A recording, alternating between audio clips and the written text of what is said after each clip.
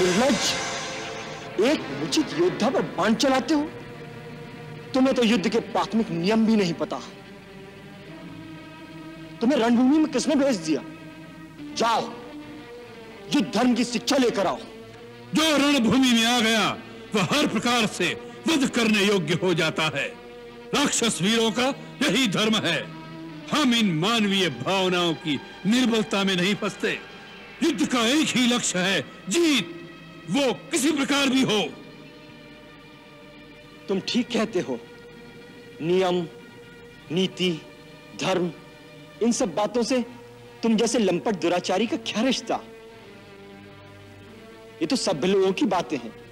तुम जैसे असभ्य जानवरों को ये बातें समझ में नहीं आएँगी।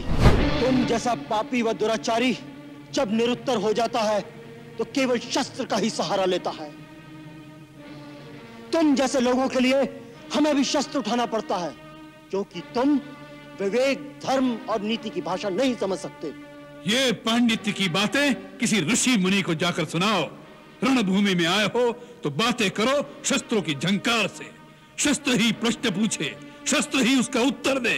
यही नियम है यहाँ का।